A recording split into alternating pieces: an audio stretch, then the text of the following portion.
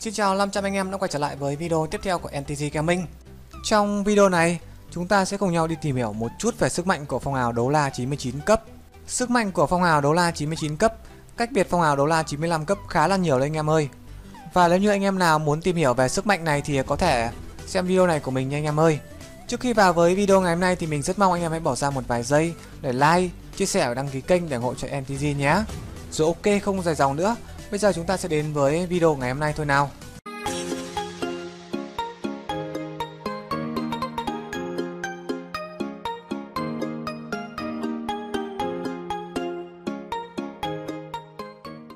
Đấu la đại lục. Sức mạnh của phong hào đấu la 99 cấp. Ánh mắt trần tâm đảo qua mọi người. Hồn lực vượt qua 95 cấp, Xem như một danh giới lớn của phong hào đấu la.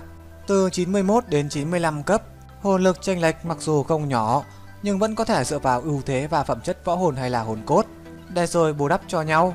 Nhưng nếu như có hai gã phong hào đấu la giao chiến, trong đó có một gã vượt qua 95 cấp, tình huống sẽ phát sinh biến dị. Phong hào đấu la 96 cấp, hồn lực nhiều hơn phong hào đấu la 95 cấp khoảng 20%. Ánh mắt đại sư sáng lên, nhất thời hiện ra quang mang hưng phấn cùng cuồng nhiệt. Cả đời nghiên cứu võ hồn, kinh nghiệm một trong những cường giả hàng đầu như kiếm đấu la đối với nghiên cứu của hắn thật sự rất trọng yếu. 96 cấp so với 95 cấp hồn lực nhiều hơn 20%. Như vậy thì không phải phẩm chất võ hồn cùng với hồn kỹ hay là hồn cốt có khả năng đền bù. Trừ phi song phương hồn kỹ có bản chất quá chênh lệch.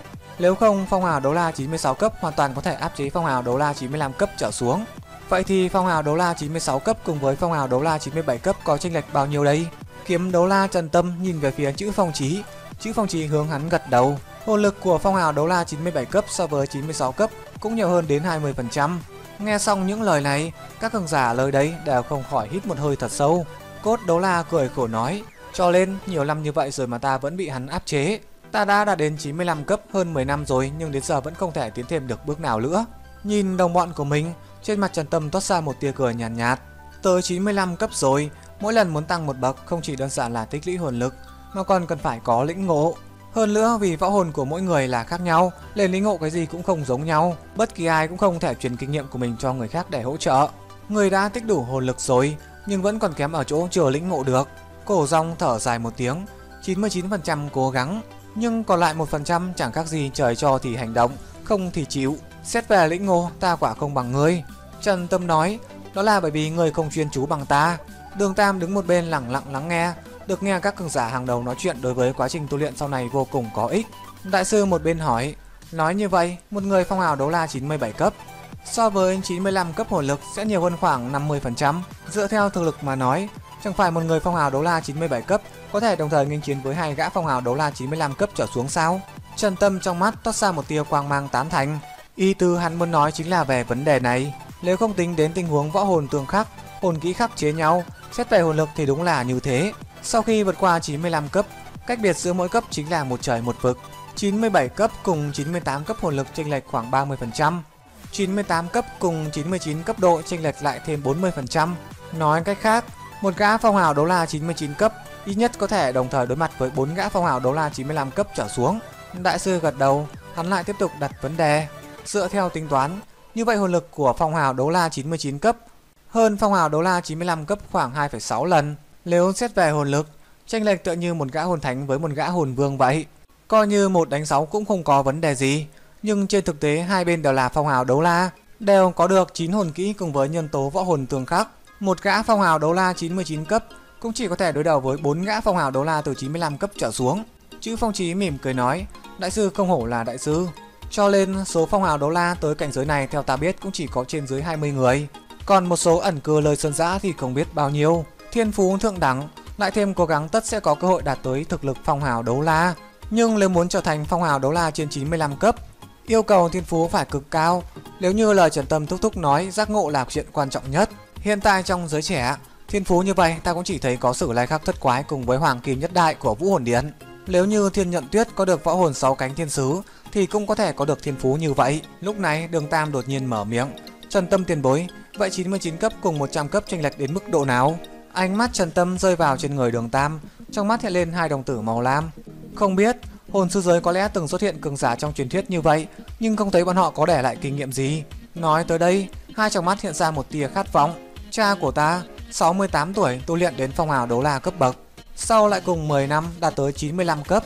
Khi 80 tuổi, người đã đến 96 cấp, thăng đến 108 tuổi, người lại đột phá 97 cấp. Rồi một ngày người gặp phải đối thủ cuối cùng trong đời mình rồi thất bại. Những lời ta vừa nói với các ngươi là do phụ thân ta truyền cho. Người cùng ta nói chuyện lửa canh giờ, sau đó tuyệt khí đi về thế giới bên kia. Trước khi chết, người nói đối thủ của mình là một gã phong hào đấu la 919 cấp, là đại nhất cường giả một thời. Vị phong hào đấu la đó nói với cha ta, hắn đã mắc kẹt ở 99 cấp đã hơn 30 năm mà vô phương đột phá. Khi đó hắn đã hơn 120 tuổi và rồi hắn phỏng đoán 100 cấp cùng với 99 cấp hồn lực chênh lệch đến 100%, hơn nữa còn có thể gặp được hồn hoàn thứ 10. Đây đúng là dùng tính mạng đổi lấy tin tức. Mọi người hoàn toàn lâm vào im lặng, trừ bỏ đại sư, dù là sử lai khắc thất quái mới chỉ có trên 60 cấp hồn lực. Đã là hồn sư, ai mà không muốn leo lên đỉnh cao cơ chứ? Thông qua lời kiếm đấu la, bọn họ mới biết được có bao nhiêu khó khăn. Năm đó ta 72 tuổi, đạt tới 92 cấp, đến nay đã 24 năm trôi qua, năm nay 96 tuổi. Nếu như vị phong hào đấu la đó còn sống, không biết hắn có thể phá tan được chướng ngại cuối cùng không? Đại sư nói, người bình thường sống lâu đại khái khoảng từ 60 đến 80 tuổi. Nếu không gặp chuyện gì khó khăn, sống lâu tới trăm tuổi cũng không phải là việc quá khó, nhất là hồn sư đẳng cấp cao, tới phong hào đấu la cấp bậc. Sống khoảng 120 tuổi cũng không có vấn đề. Vị hồn sư 99 cấp kia rất có khả năng còn sống. chân Tâm thở dài một tiếng nói, đáng tiếc, dù hắn còn sống, ta cả đời cũng không có cơ hội khiêu chiến. Chữ Vinh Vinh có chút kỳ quái nói, kiếm ra ra, người không hận hắn sao? chân Tâm lắc đầu nói, phụ thân ta mỉm cười rồi mới mất. Ta cũng từng rất hận hắn, nhưng sau khi vượt qua 95 cấp ta mới hiểu được, tới cấp bậc này rồi, có thể khiêu chiến một đối thủ mạnh như mình, chính là chuyện sung sướng nhất đời. Đường Tam nói, Trần Tâm tiền bối, nếu như ta không nhìn lầm, ngay mặc dù mất đi một cánh tay, nhưng cảnh giới lại tăng lên, tại sao lại nói không có cơ hội chứ? Trần Tâm trong mắt chợt hiện ra hai luồng ánh sao. Tâm thần những người ở đây liền run rẩy một hồi. Hắn liếc mắt nhìn Đường Tam một cái thật sâu. háo háo quả nhiên anh hùng xuất thiếu liên Có điều, ta nói cũng không phải hứ ngôn. Cánh tay bị chặt, mặc dù làm ta lĩnh ngộ, nhưng khí huyết đã bị tổn thương. Sau này khó có thể tiến thêm một bước nữa. Ta chắc chắn không thể vượt qua phụ thân. Ở đây toàn những người thông minh. Tư hàm ý trong câu nói của Trần Tâm với Đường Tam, bọn họ không khỏi âm thầm kinh hãi. Vị kiếm đấu la này dĩ nhiên đã đột phá đạt tới 97 cấp. Trong mắt Đường Tam hiện lên sự cuồng nhiệt. Trần Tâm tiền bối, nghe biết người đó ở nơi nào sao? Ánh mắt Trần Tâm đảo qua mọi người.